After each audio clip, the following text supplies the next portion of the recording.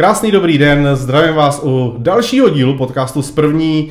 Uh, opět jsme tady na Litavce, tentokrát jsme vyměnili zázemí a jsme v kabině trenéru mládeže a na rozhovoru tady vítám Dana Huňu. Ahoj Dané. Ahoj.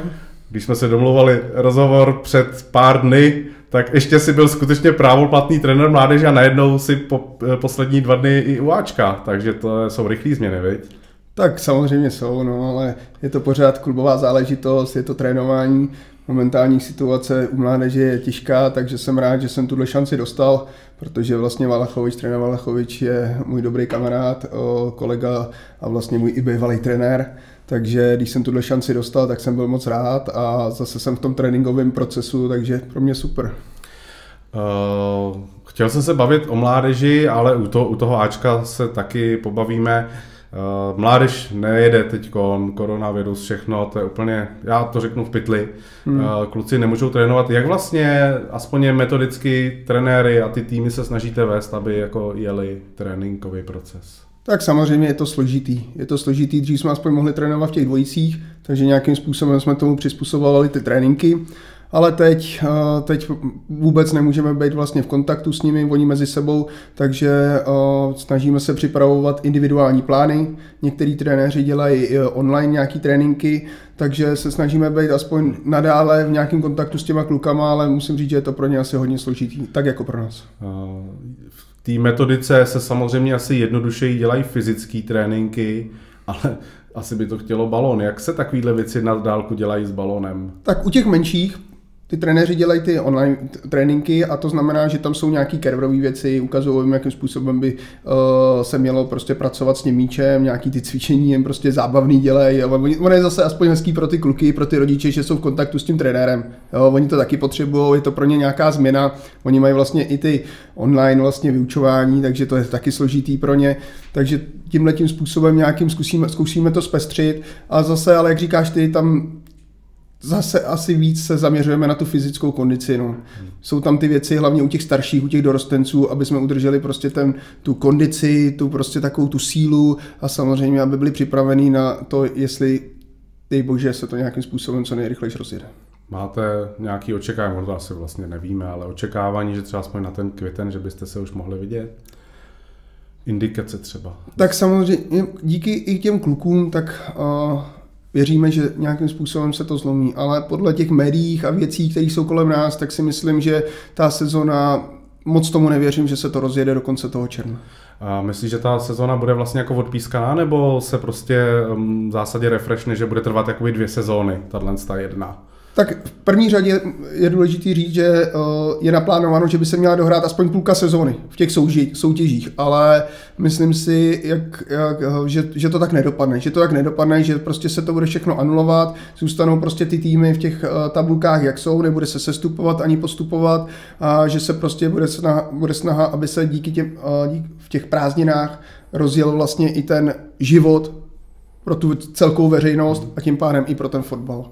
Eh, u těch eh, fotbalistů tím, že najednou nejsou v tom týmu, fotbal je týmový sport a ne, ty kluci nejsou v týmu, zjišťujete tam nebo evidujete tam nějakou, řekněme, jako umrtnost, myšleno, že kluci přestali chodit na ty online, někteří eh, ztrácejí se tam ti kluci, ne, že nechodí na online? Tak no, zatím tu informaci žádnou nemám, ta, tuhle tu, nic se ke mně nedostalo, uh, ale uvidíme co čas, uvidíme teď, jak, jestli se to nějakým způsobem rozjede a pak já si myslím, že lehká umrtnost může být. Může být, prostě může to přijít, protože ty kluci, hlavně v tom pubertálním věku, nebo ty kluci, kteří prostě teď mají ten přechod třeba i do toho dospělého fotbalu, tak je to pro ně mnohem složitější. Ta U19, musím říct, že mi je strašně líto, že prostě teď, kdy se mají ukazovat, nemůžou hrát, ale je to všude, je to všude v Evropě, je to prostě všude na světě, uh, takže určitě ty kluby s tím budou počítat a počítat s tím, že třeba ve chvíli, kdy půjdou do toho dospělého fotbalu, třeba k nám do Bčka nebo třeba někdo do Ačka,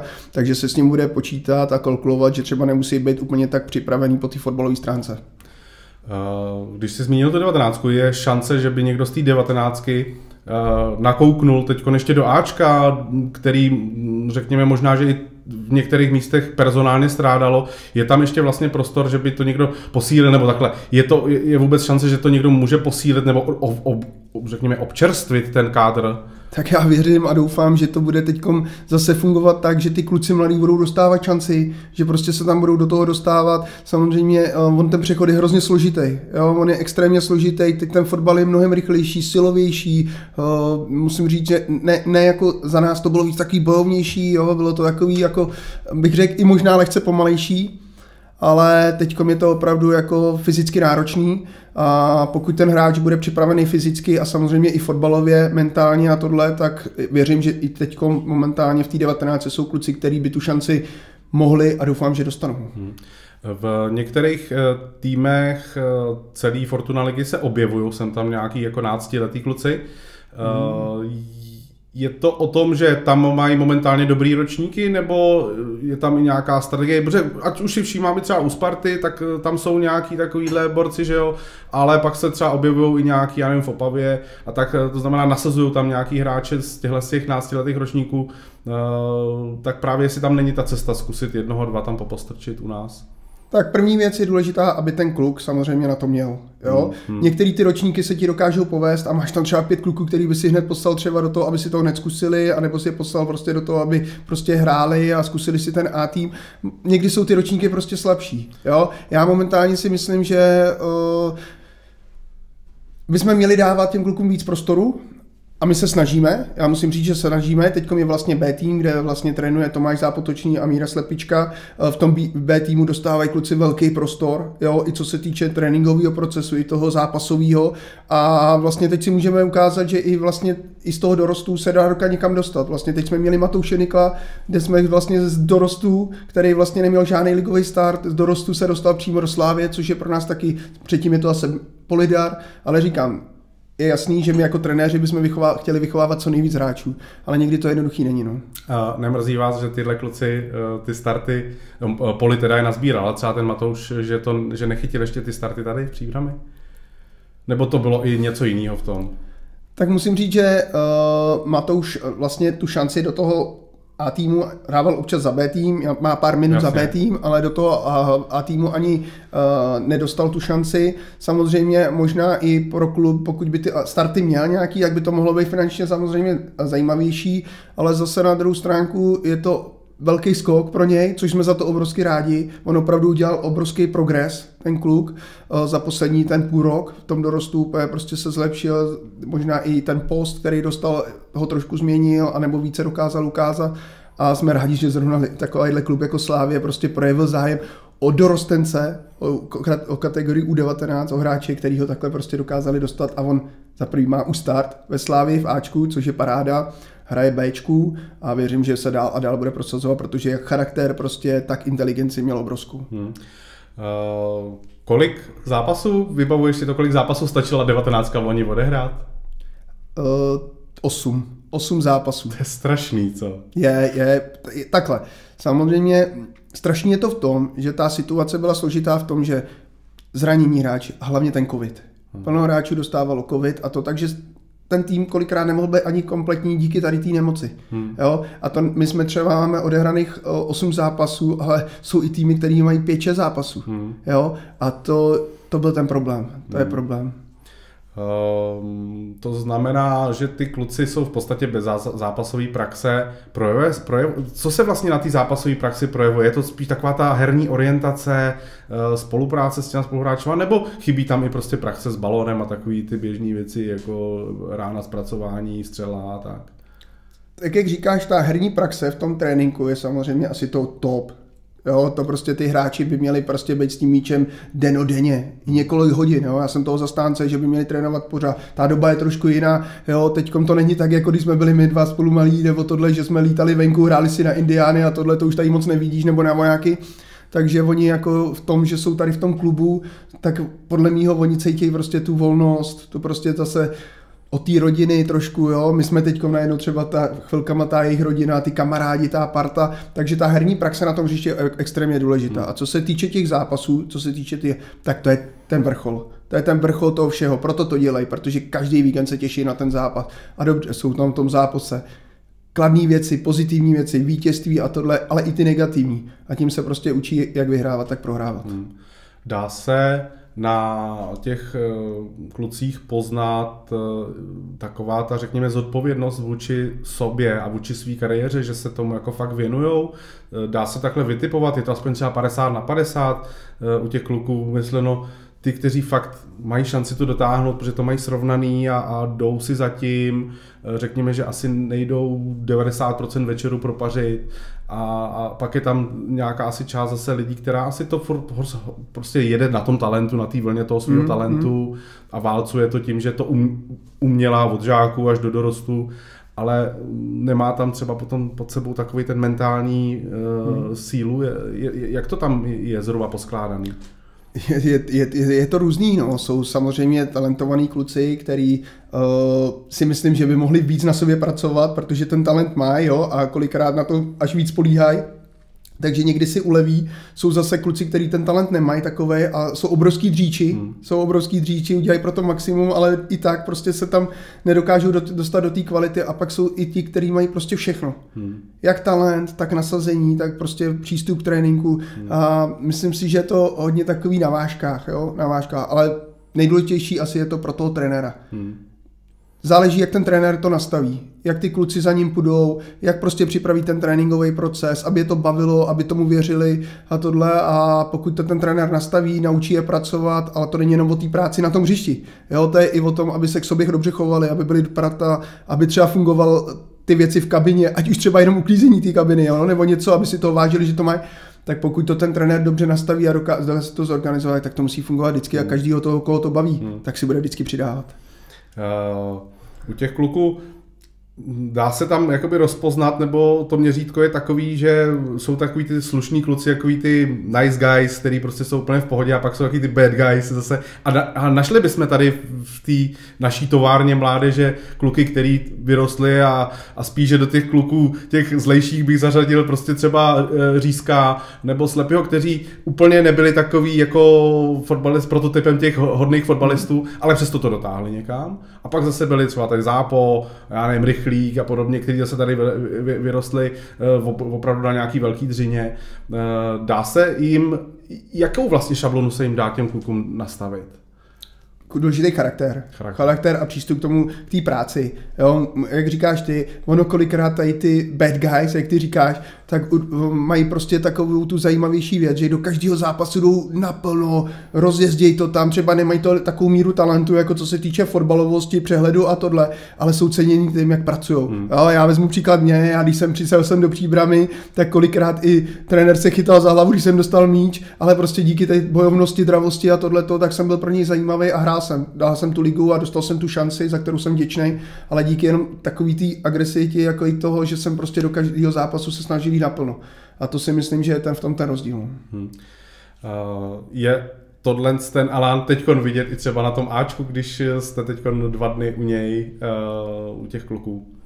tak tam jde vidět opravdu, že v první řadě ta psychika těch hráčů. Jo, teď prostě prohry, tady ty věci, nebylo to úplně tak pozitivní. Viděli jste i v posledním zápase, že prostě na tom příští bylo vidět, že tam je odezdaný tým a to je to si myslím, že to je to nejhorší, co může být.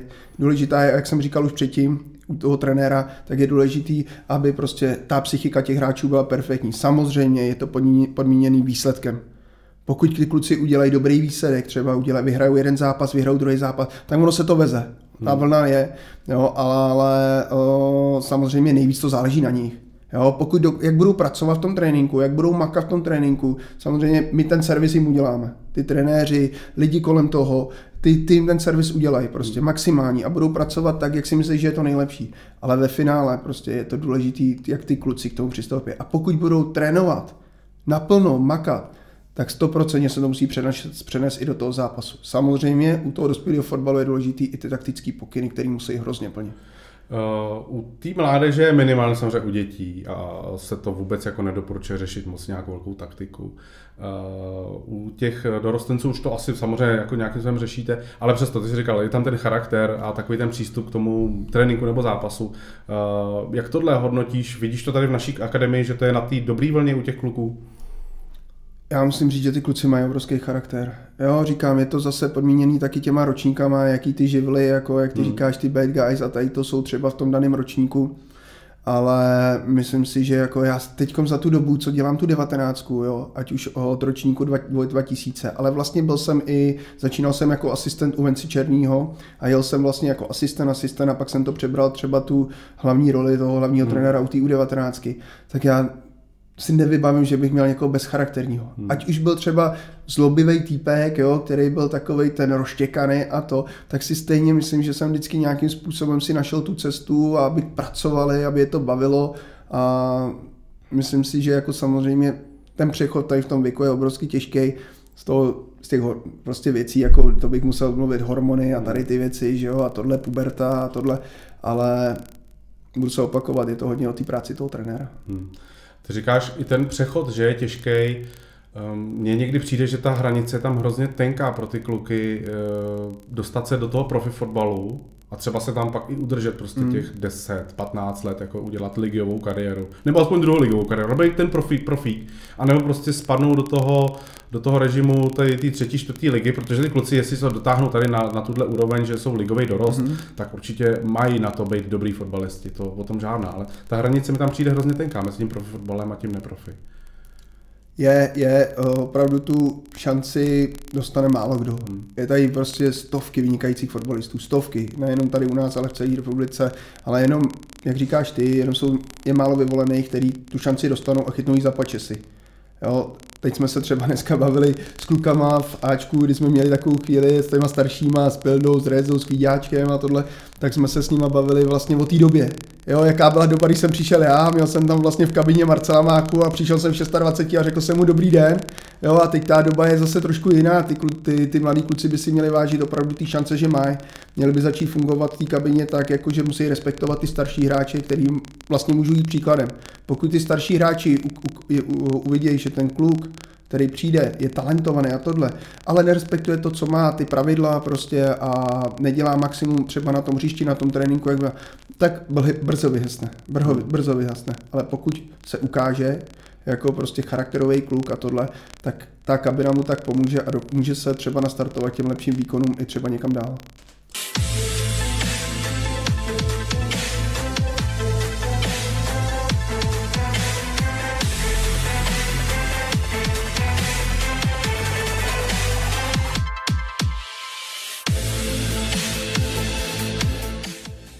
Tak sledujete dál náš podcast. S první mám tady Dana Hoňu a povídáme, povídali jsme si teď několik minut o mládeži a ještě chviličku u ní zůstaneme. Uh, Dane, už jsem se po, před pár měsícem ptal Honzi Starky, uh, aspoň minimálně na počty kluků, není vidět nikdo v reprezentaci, v těch mládežnických. Je tam teda Kevin, zrovna teda s hm. okolností, ale třeba byly časy, kdy tam bylo třeba 5-6, každého ročníku mm-hmm. třeba někdo. Zkus tohle zhodnotit, proč to tak třeba teď není.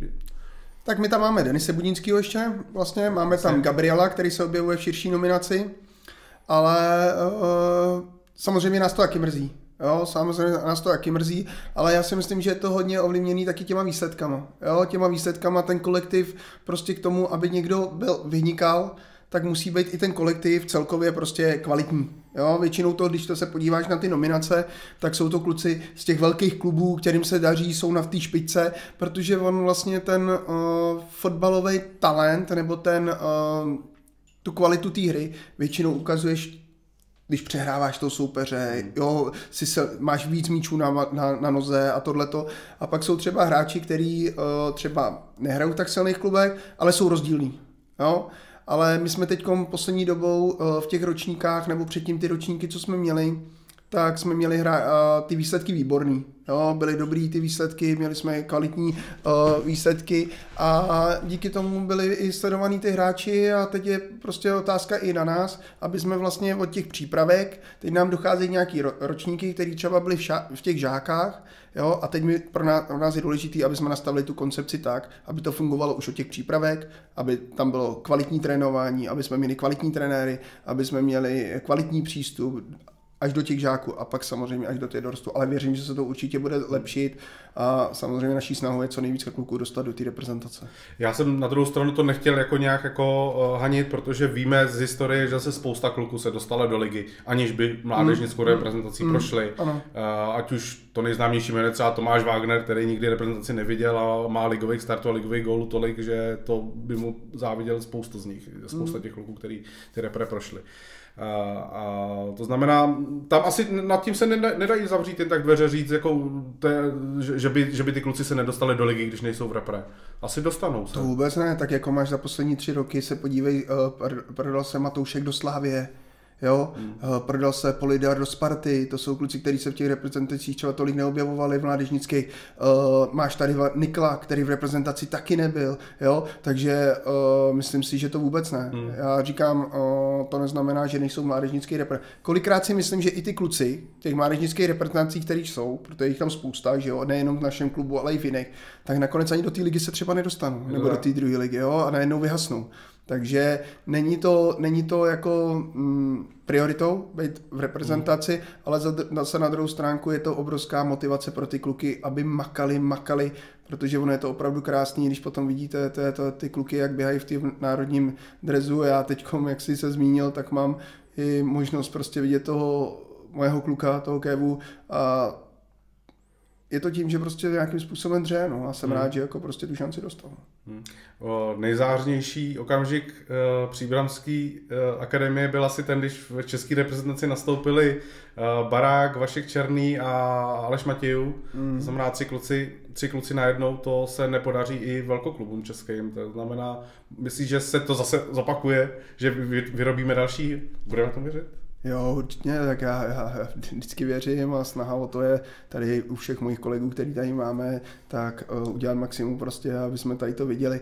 Já vlastně si pamatuju na všechny kluky, protože všechny kluky jsem vlastně jako asistent měl u, u těch týmů, takže si na ně pamatuju a uh, vidíte, jaký udělali progres hmm. skutečně jako do toho fotbalu. Venca, Venca Černý třeba už to v, tom, v té době byl extrémně talentovaný. Jo, když šel pryč, to prostě byl nadstandardní hráč, ale Aleš Majetů poctivý B, který nic nevypustil, Tonda Barák prostě poctivý hráč ve středu hřiště, který měl vynikající koncovku, vedení míče a tady ty věci.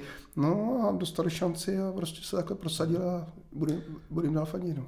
Ty jsi mluvil i o té koncepci. Tam eh, mě napadla vlastně jedna věc a to je, Uh, razíte jako jednu tu koncepci třeba totožná, řekněme, struktura té taktiky, sestavy na hřišti, a co se týče postů, eh, že by to kopírovalo ty manšafty, stejný beci, stejný stopeři, stejná devítka, stejná desítka, něco takového? Uh, takhle.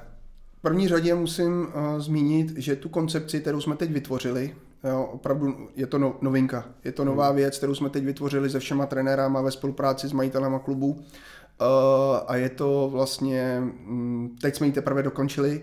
Uh, musím říct, že jsou to takové noty, kterými bychom se chtěli řídit už od těch přípravkových kategorií až po tu devatenáctku. Mm-hmm. Až po tu devatenáctku, aby byli připraveni potom na ten dospělý fotbal.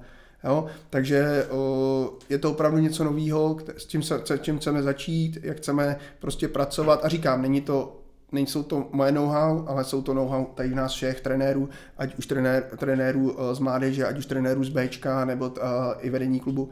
Takže dáváme to dohromady a věřím, že teď to bude zase takový ten odraz. A ono se to možná nebude vyvíjet první tři, čtyři roky. To třeba hmm. nebude tolik vidět, jo? ale pak si myslím, že ten progres bude velký, doufám.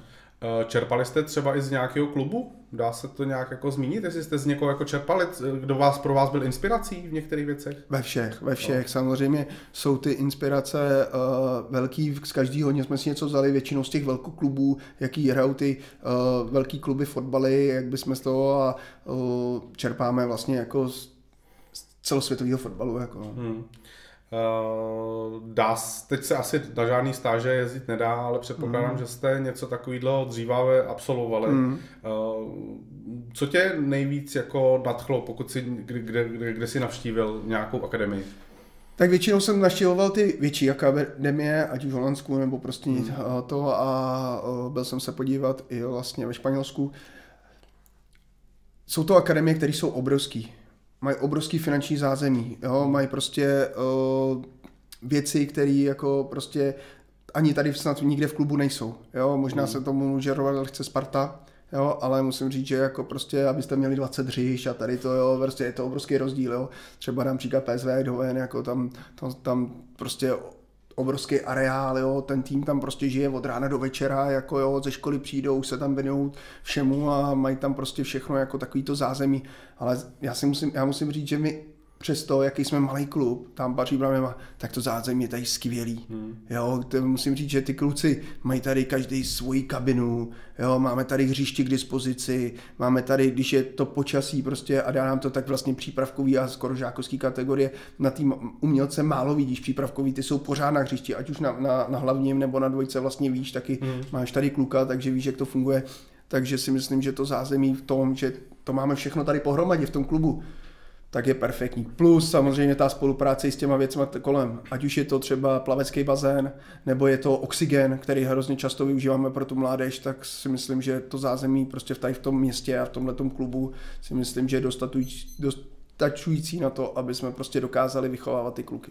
U těch mládežníků, a já jsem se to samozřejmě setkal teda i u svých dětí, tak se využívá i další typy cvičení, nějaký jako kompenzační a podobně. Eh, a přijde mi, že si to všichni jako chválej hrozně. Eh, jak bys tohle to třeba zhodnotil? Tak je to různý. Jo? Je to různý, vlastně my tady máme uh, k dispozici lidi, kteří nějakým způsobem pracují, máme tady k dispozici uh, u těch přípravkových kategorií uh, Pavlíně Novotný choděj, že jo? máme tady vlastně Marušku uh, Ludvíkovou, který vlastně pracují taky v nějakých těch systémech, nebude tady jmenovat, a pak tu máme vlastně kluky, kteří jsou kondiční trenéři.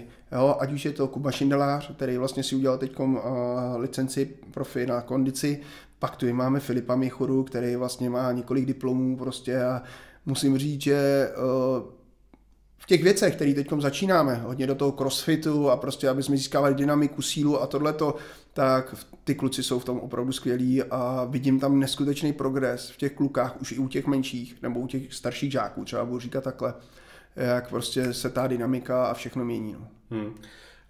Um, u těch hráčů je i důležitý, řekněme, ten pohyb, aby byl jako obecný. To znamená, doporučujete těm klukům, předpokládám, i třeba jiný sporty, nebo jak, se, jak tohle to uh, řešíte, aby měli vyvážený pohyb, že jo? Jasně, tak uh, pro nás je důležitá všestranost. Jo, prostě ať hrajou cokoliv, ať, se, ať hrajou, prostě, ať už jsou to různý míčové hry, ať chodí klidně do Sokola, jo, je to prostě na nich. Samozřejmě chceme, aby na ten trénink tady docházeli, aby prostě tohle bylo nějakým způsobem prostě to jejich první místo, ale ta všestrannost je hrozně důležitá, takže vůbec nic jim v těch věcech jim nebráníme, ať chodí. Oni vlastně ty přípravkové kategorie nebo předpřípravkový mají dva, možná tři tréninky a pak mají spoustu času na ty jiné aktivity.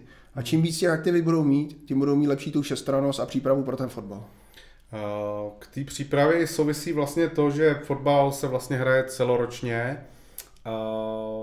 Většinu času se dá využít hřiště, ale samozřejmě, když je zima, tak to potřebuje minimálně pro ty malé kluky tělocvičnu, anebo v podstatě ono, jako když nemáš vodohrábnu, tak prostě si ne, ne, nezatrénuješ. Pomineme teď tuhle dobu. Uh, Nepomohla by třeba, aby tady byla i třeba nějaká krytá hala? Ono jich moc není ve finále. Já jsem se setkal s tím, že ono, i když jdeš tady po středních Čechách a my s těma dětma jako něco nejezdíme, tak jich mnoho není.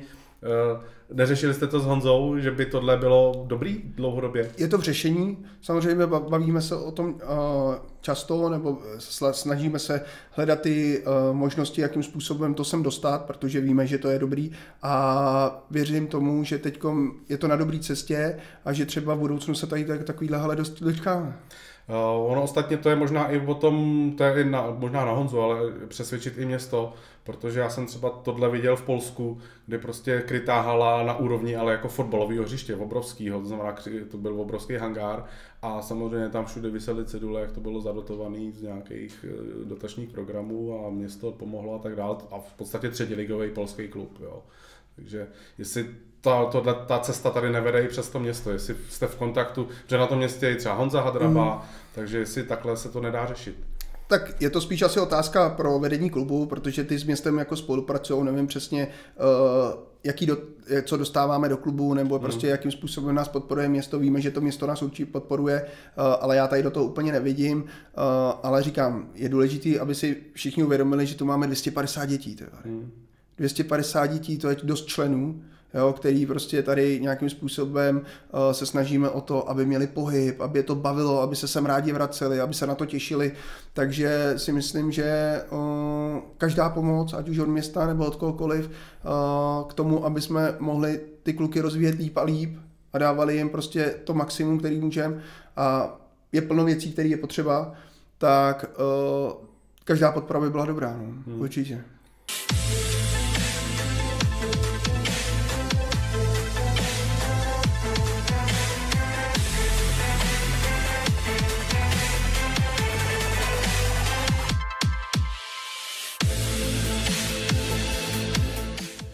Tak a my pokračujeme v našem povídání, mládež necháme už za sebou a jdeme se podívat, ale nejdřív asi možná než to Ačko, tak ještě se podíváme na kariéru. Pár takových highlightů. Pamatuješ si, kolik ligových zápasů si odehrál?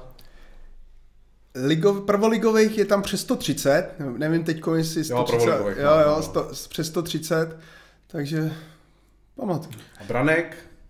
Branek je ligových 22. 22, to není vůbec špatný, uh, protože patříš, myslím, že do top pětky na střelců historie našeho klubu, což, mm. což je slušný, ale jsi taky mezi třema hráčema a víš v čem?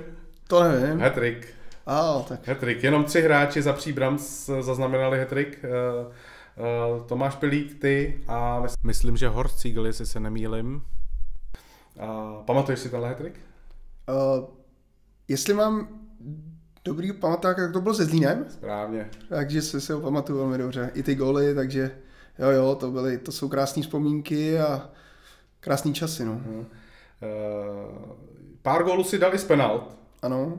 Jaký to je být penaltový, uh, řekněme, exekutor? V ligovém zápase, ono už, to už přece jenom trošičku nervíčky asi jsou, jo. záleží, záleží, z jakého stavu to je, to je extrémně důležitý, ale uh, já když jsem kopal ty penalty, tak vlastně jsem byl asi v mojí top formě. Jo. jo. A když jste ve v top formě, tak prostě uh, cítíte, že jste hrozně věříte. Hmm. A já jsem byl v tomhle hodně sebevědomý, všechno jsem chtěl, jo, protože jsem věděl, mě se daří a prostě to stalo se mi taky, že jsem řekl bránu, ale ne v lize. Musím mm. říct, že v lize jsem proměnil všechny, ale v druhé lize jsem uh, ukopl párek našemu autobusákovi z ruky, jo, hned za bránu. To se taky stalo, jo, ale říkám, uh, samozřejmě to vždycky zamrzí, ale já jsem si na ty penalty vždycky věřil. Mm. Já měl zrovna v té době takový prostě good feeling ze sebe a prostě dařilo se mi, takže je pravda, že jednu sezonu jsem měl v Laufu, teď jestli mi, že v jedné sezóně 11 branek ano, to bylo. Ano. Což je teda fakt slušný, jako si přicházel vlastně, když jsem přicházel, tak si přišel vlastně z Bohemky, ano. ta se rozpadala v té době nějakým hmm. způsobem. Uh, přišli jste, myslím, že tři s Michalem Klesou a, a Podrazký Podraz, a Lesák. Čtyři jsme přišli. Čtyři dokonce. Ano, ano. A v zásadě přiší úctě jako no-name útočník, když to tak jako vezmu a najednou si se vypracoval na takovýhle, řekněme, střelce, patřil si mezi nejlepší střelce ligy v tu dobu. Tak, ta kariéra byla hodně zajímavá. Já jsem z krajského přeboru vlastně šel do Bohemky a po roce, jak si říkal ty, už když ve chvíli ta Bohemka se rozpadala, tak o, trenér Tobiáš si mohl vybrat čtyři hráče z Bohemky, protože se rozpadal. Hmm. Co mám informace ještě od trenéra Tobiáše. Jo, takhle. No a vybral si tyhle ty tři hráče pak viděl, že tam je jeden blázen, který tam vždycky vletěl do tyčky a do všeho i hlavou a říkal, to chci taky. Takže si mě vzal, spíš ve mně viděl asi takovýho buldočího typa. Takže jsem sem přišel a musím říct, že všechno pro mě nový, prostě mm. úplně, já jsem tady jsem přijel, jako když přijede nějaký velký hráč, prostě nějaký San Siro a tady to, jako já jsem tady v tom viděl úplně Barcelonu a tohle, takže jsem viděl opravdu jako pro mě velká změna, ale uh, Trvalo to, trvalo no. to, musel jsem se vypracovat, hlavně jsem musel pobrat uh, větší fyzický fond získat, protože ta liga už je úplně jiný level no. a i ty zkušenosti a chvíli to trvalo, dva, tři, dva, dva roky, pak to trvalo, pak jsme se stoupili. Hrozně mi nakopla ta druhá liga, kdy jsme zase postoupili zpátky, tam jsem se rozstřídal, dal jsem vlastně 10 gólů, to mi hrozně pomohlo a vlastně už pak ty další dva ročníky, už, jsem, už mi to tam padalo a i přesto, že jsme hráli o sestup, tak jsem rád, že jsem se dokázal takhle prosazovat. No. Hmm. Uh, ta druholegová sezóna byla ostatně zajímavá, protože to fakt bylo, mm, uh, nedařilo se na začátku, mm-hmm. v podstatě obě dvě druholigové sezóny, které pamatujeme, tak se nikdy začátky nedařily, ale postupně ty jara vždycky vyšly. Tady byl Massimo, že jo, Morales na, na, na, na jaře ten postup na jaře ten postup, jo, začal to uh, pan Barát, Jasně. začal to velmi dobře, pak to jaro se trošku zkomplikovalo, ale díky i uh, velkému množství zranění. Hmm. Jo, v té době jsem se zranil já, já měl problémy s potýnka, zranil se Michal Klesa, jo, plus tam byly nějaký ještě problémy jiný a uh, takže ono to trošku se zabrzdilo. Hmm. No, ale pak to vlastně de facto přebral trenér Morales a díky bohu se to dotáhlo do takového skvělého postupu. No. Jaký to s ním bylo trénovat? Já si pamatuju, tak zkus to popsat ty. Já jsem s ním měl dobrý vztah. Jo. Za prvý jsem uměl dobře anglicky, no. takže jsem to, za druhý jsem byl kapitán. Jo, takže uh, my jsme si našli k sobě dobrou cestu.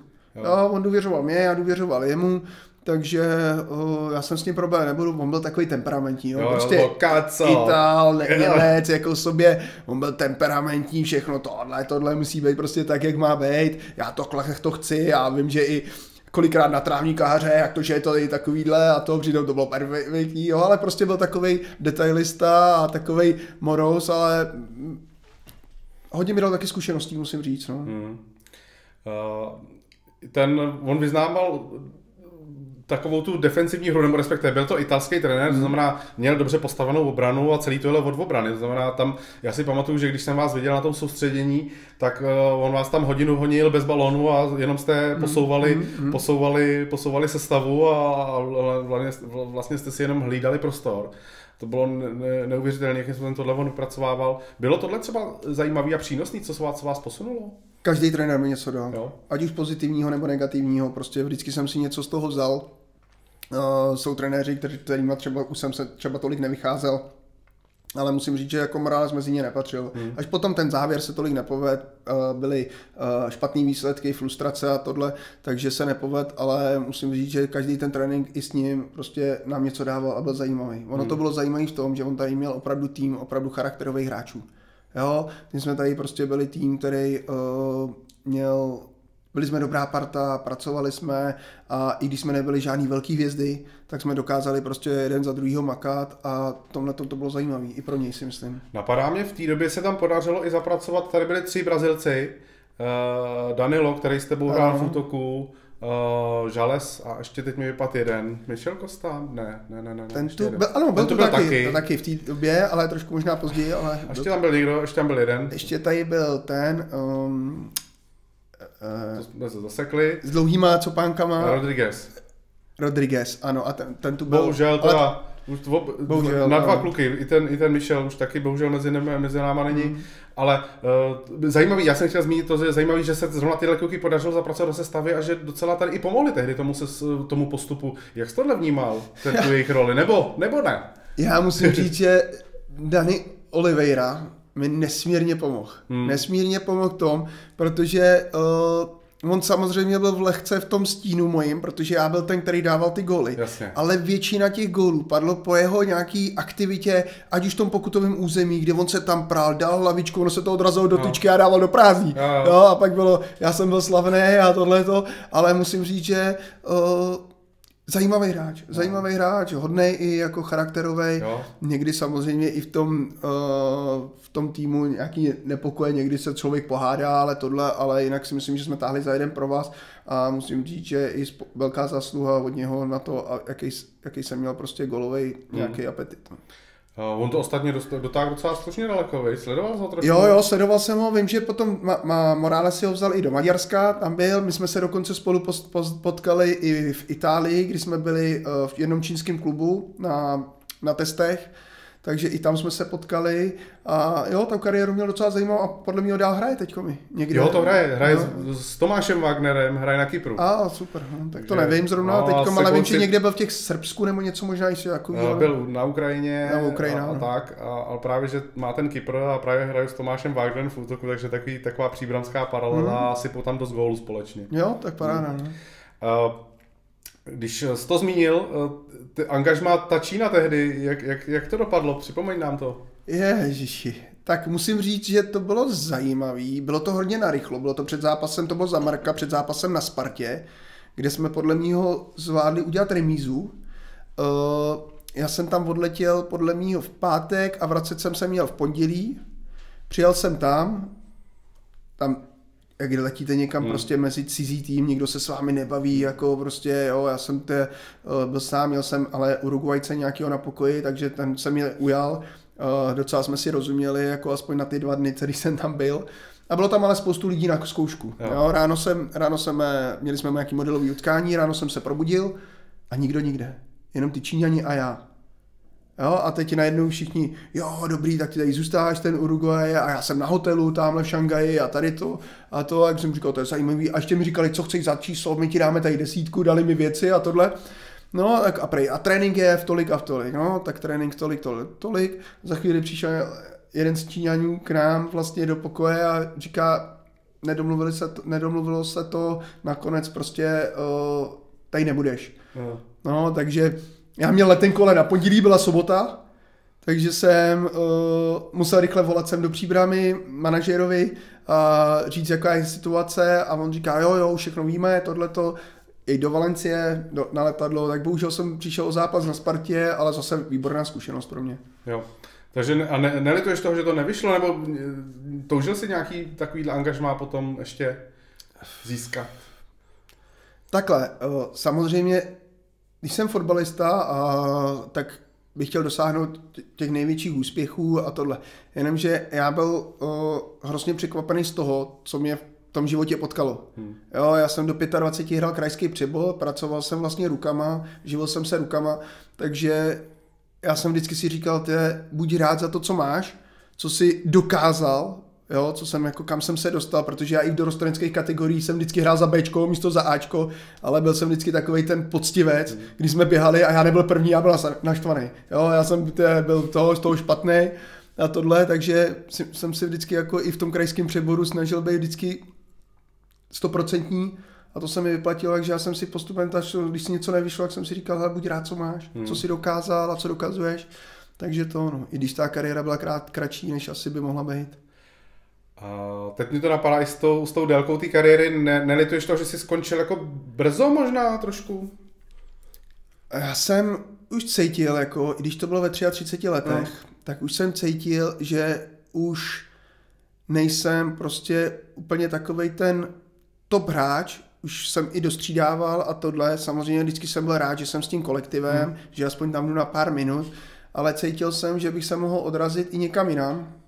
Cítil jsem, já jsem pracoval rukama, jo. Jo, takže dokázal jsem si uvědomit, jak je těžký si vydělat peníze, že prostě každý korun jsem se vážil a tohle a říkal jsem si, že bych mohl nastartovat tu, tu trenerskou kariéru, protože už vlastně během té mojí kariéry fotbalové jsem začal trénovat v přípravce. Tonda, Tonda Barák, vlastně takový ten můj první učitel, mě oslovil k tomu, jestli bych nechtěl si rozjet uh, nějakou tu přípravkovou kategorii, tu jsem si rozjel a byl jsem za to hrozně vděčen, dostal jsem hrozně spoustu informací. A pak vlastně, když jsem skončil, tak jsem se tady s klubem domluvil a řekli mi, jestli bych nechtěl dělat asistenta u kategorie U19, to byly 9 čtyřky, vlastně hmm. Tonda Barák a ta, další, tak uh, jsem začal u UNC Černýho a vůbec to nelituju, protože hned prvním rokem jsme post, uh, postoupili do celostátní ligy dorostu a musím říct, že tu kariéru jako trenérskou uh, mám zajímavou. Hmm. Mám zajímavou, hrozně mě to baví. Hrozně mě to baví, věnu se tomu od rána do večera, uh, takže nelitu, asi ne. To mi nahráváš. Co se při jakoby studiu trenérské kariéry dá vlastně jako získat? Je to, jsou to nějaký materiály, nebo je to sledování zápasů, nebo sledování toho, jak to dělají v jiných akademiích? Co vlastně je to čerpání těch informací? Tak za prvý je důležité si udělat licence.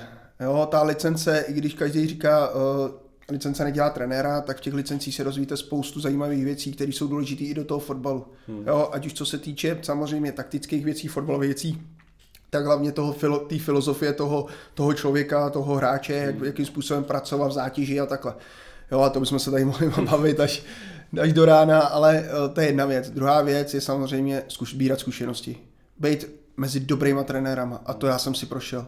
Jo, ať už je to Tonda Barák, Vence Černý, pak jsem si vlastně Pavel Tobiáš, jo, byl jsem tady vlastně i v době vlastně, kdy tu byl trenér Caplar, který mi taky dal spoustu informací, zase zkušeností, zase mi otevřel, takže uh, to je důležitý, abyste pracoval s dobrýma lidma, který vám ty informace dají s dobrým kolektivem, protože já čerpám pořád i teď od toho kolektivu, který kolem sebe mám, ať už je to Tomáš Zápotočný, Dan Tarca, hmm. Slepička, jo, a, a on kondičního, kondičního trenéra sbírám extrémně energie, jako a hlavně takový těch informací od toho Filipa Michury. Hmm. Takže to jsou taky důležité věci. A pak samozřejmě věci kolem, jak si říkal, ta videotechnika. Zápasy, fotbaly, sledování, stáže a takovéhle věci, ty jsou hrozně důležité pro toho trenéra. No. Ale musí o to bavit, musí tomu dát všechno. Je to hrozný mix těch věcí, myslím, ohromný, hrozný, eh, ohromný mix těch věcí. Eh, u některých trenérů se vyprofiloval Master of Video, mm-hmm. Capy, eh, to o něm se proslavilo, hráči to o něm říkali. Zase někteří trenéři říkají, nebo o trenérech se říká, hele, ten bude dělat defenzivu prostě krutou a pak zase jsou trenéři, kteří prostě postavili bezbřehou ofenzivu, ať třeba David Vavruška, tady se útočilo, i když tady byla Sparta a něco všechno.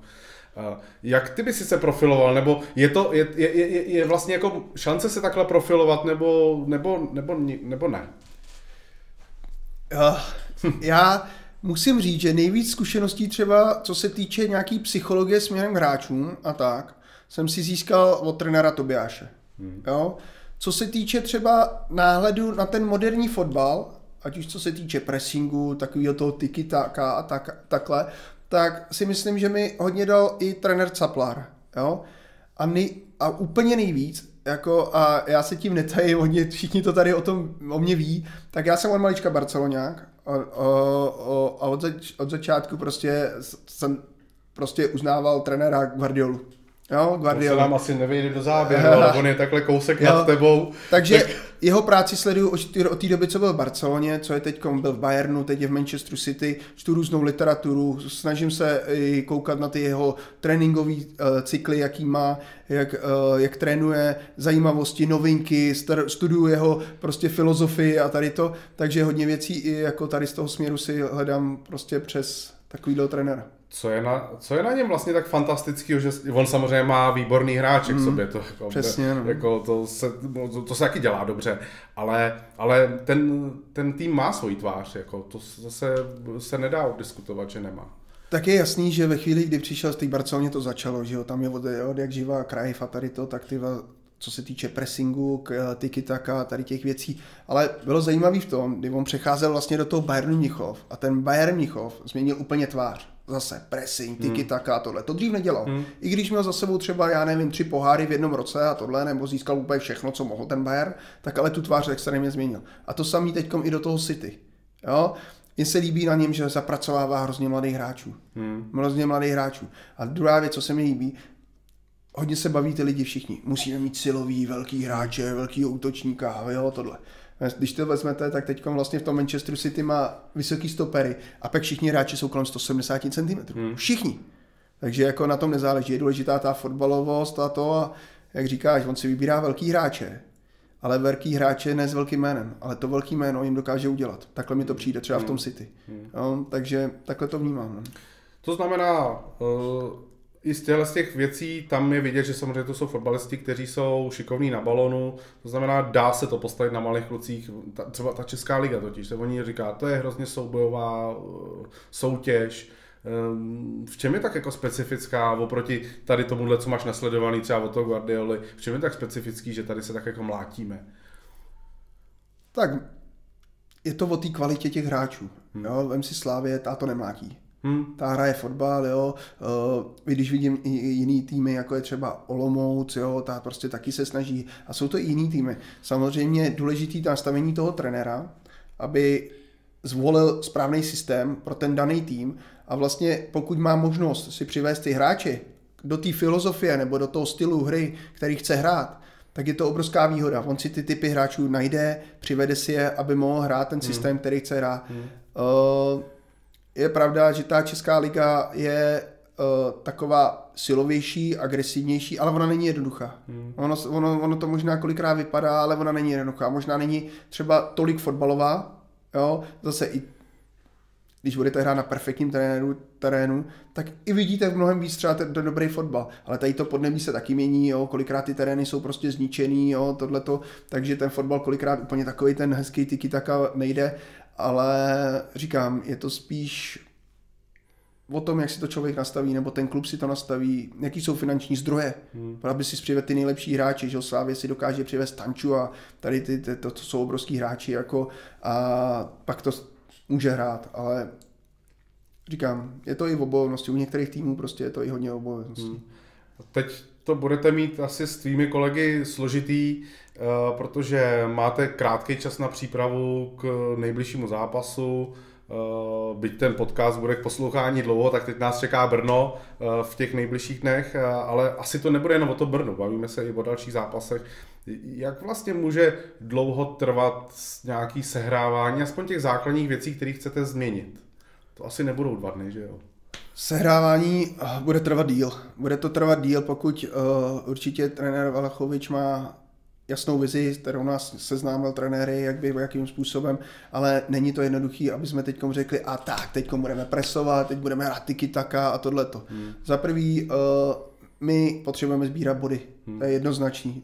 My potřebujeme vítězství, hrajeme první ligu a tam se hraje jenom na body, na vítězství. A teď ten čas je opravdu krátký. Teď je důležitý, protože jsme v situaci, v jaký jsme, jsme na posledním místě, teď chceme tady prostě dokázat udělat zázrak, chceme udělat zázrak a věřím, že na to, že budeme dělat maximum pro to, aby jsme ho udělali, ať už to vyjde nebo ne, ale uděláme.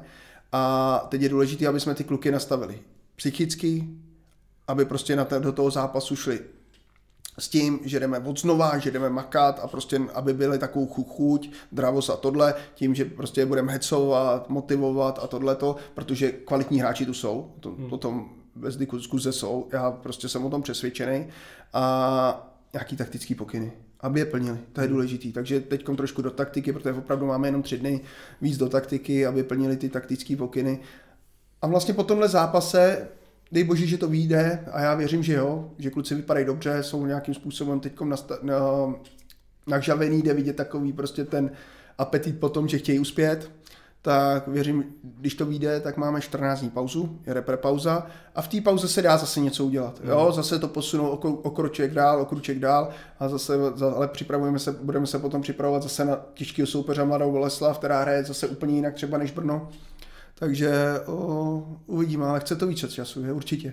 Tomu rozumím, ale výhra se určitě nedá dotáhnout bez toho, aniž by se dal nějaký gol, to znamená, se zaparkovaným autobusem to asi e, hrát jako nemůžeme. Je tam teď nějak, aspoň když naznačíš šance, jak změnit tu taktiku trošku do ofenzivy, posunout to trošku vejš ty hráče? Složitá, složitá otázka. Samozřejmě hmm. pro nás je, my uděláme všechno pro to, aby jsme nedostávali góly. Hmm. To je první věc. Aby jsme se mohli odrazit, nesmí dostávat góly. Jo? Takže uh, to je první věc, na který chceme zapracovat. Tím, že se budeme dostávat do nějakých šancí, budeme pracovat, budeme se dostávat, tak to věřím, že budeme. To budeme, hmm. prostě pracujeme na tom už teď v tréninku, dneska jsme měli uh, technicko-taktický trénink, kde by to bylo rozděleno na defenzívu a na ofenzívu. Měli jsme tam prostě cvičení na to, aby kluci dobíhali, doráželi, prostě spali se do zakončení. Musím říct, že zakončovali velmi dobře, bylo vidět na nich i, že to cvičení je baví, že prostě mají energii. Takže tohle je důležité, aby přenesli do zápasu. Dneska jsme měli i modelové utkání a taky to nevypadalo špatně. Hmm. Vypadalo to zajímavě, ale je tam spoustu samozřejmě věcí, na kterých je důležité pracovat. Kluci nejdůležitější, ale aby si to nastavili v hlavách a prostě tomu věřili. Aby tomu věřili a šli tomu naproti. Uh, on to Joška říkal i v rozhovoru, který máme na našich stránkách.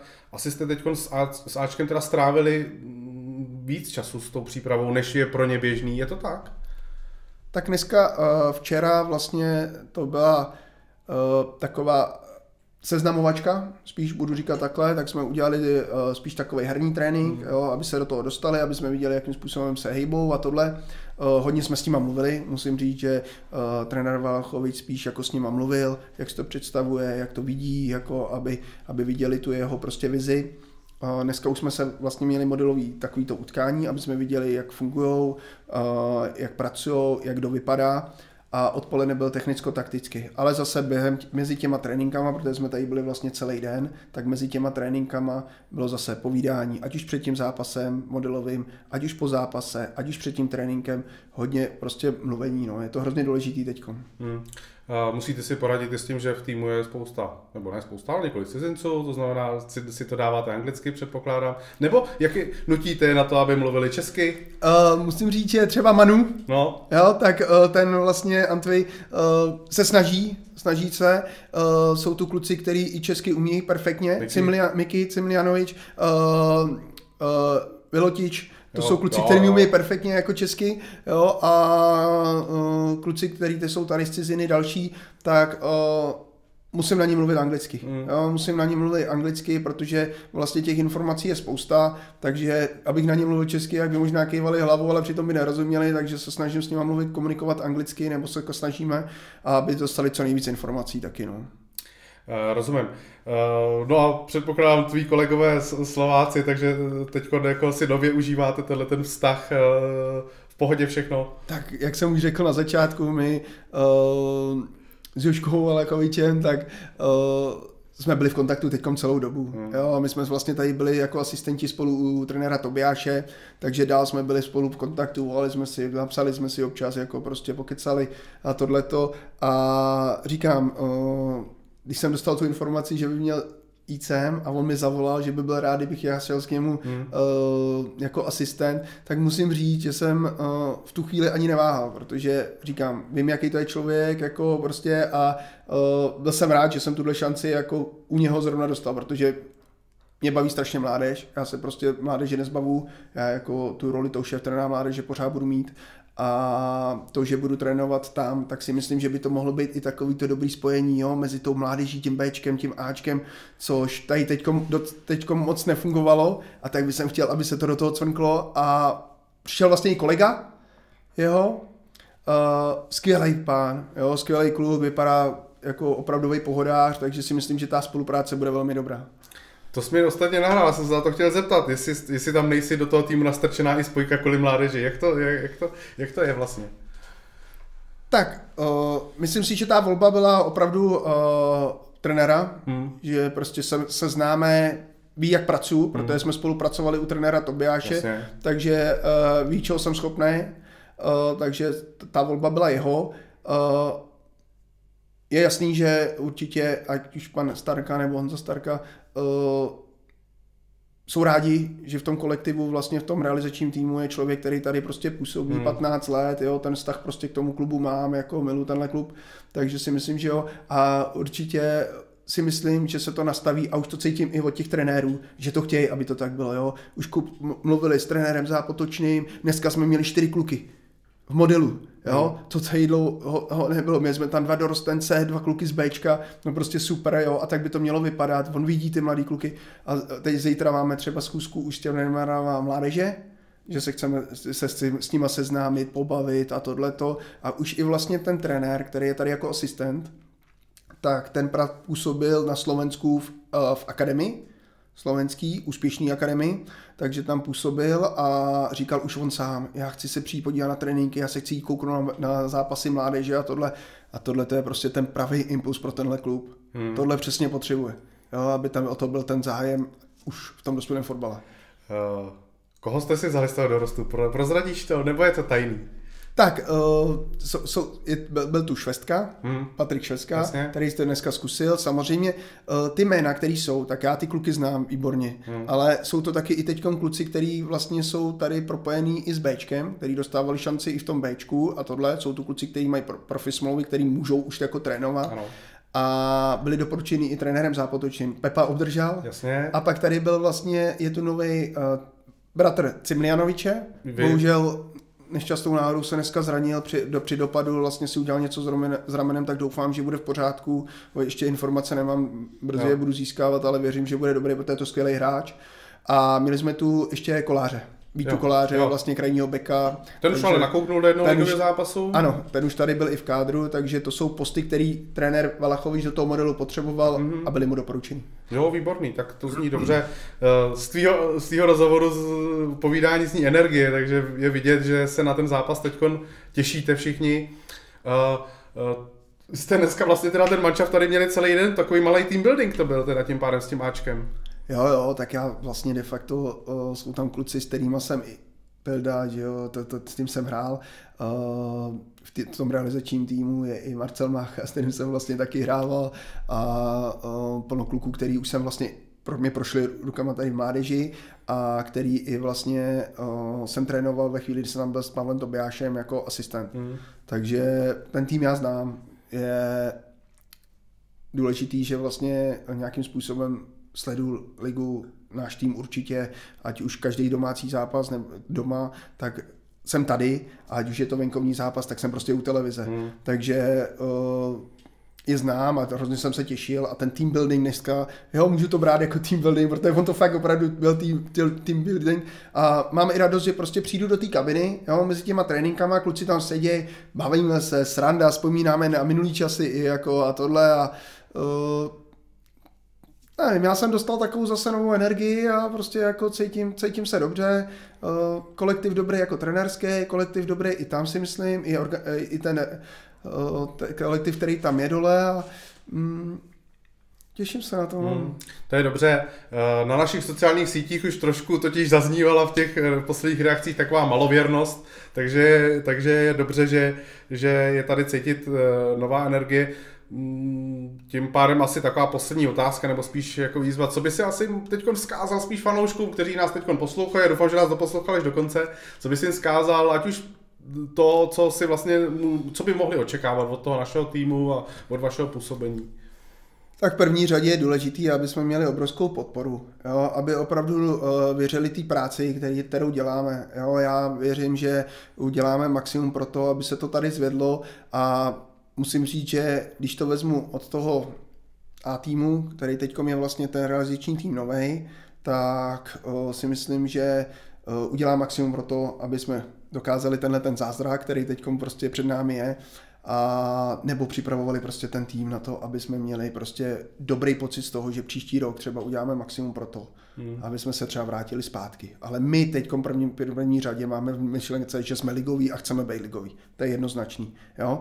Ale uh, druhá věc je, mám tady skvělý realizační tým, ať už od trenérů z Bčka, který tady prošli mládeží, ať už od trenérů, který tady mám kolem sebe. A věřte mi, i když jako jsme se zmiňovali, že třeba v těch reprezentacích a ty výsledky kolikrát nejsou takový, jaký by měli, tak uh, se snažíme udělat maximum a všichni ty kluci, kteří tady jsou, se snaží dělat maximum pro to, aby ten klub byl zajímavý, aby jsme prostě vychovali co nejvíc hráčů. A takže chtěl bych asi požádat, aby jako prostě byli i v některých věcech trpěliví, aby nás podporovali, protože my jsme příbramáci. Já jsem tady 15 let, nejsem jako rozený příbrak, ale já už jsem příbramák. Já už se neberu jako mostečák, ale beru se jako příbramák a jsou tu kluci, jako je Tomáš Slepy, jo, t- Filip Michura a takhle, kteří jsou příbramáci a prostě v tom srdci prostě tu příbram máme. No. To je dobře. Tak Dane, děkuji za skvělé povídání. Vám děkujeme za to, že jste nás doposlechli až do konce, sledovali jste náš podcast z první. Uh, jako vždycky jsme to jeli opravdu z první noty, žádná přípravička, vymysleli jsme krásný rozhovor, uh, takže vy nás můžete sledovat, byl to sedmý díl, já jsem Zdeněk Broš a těším se s váma zase uh, na příští díle. Naschledanou, mějte se hezky, naschle. Naschledanou.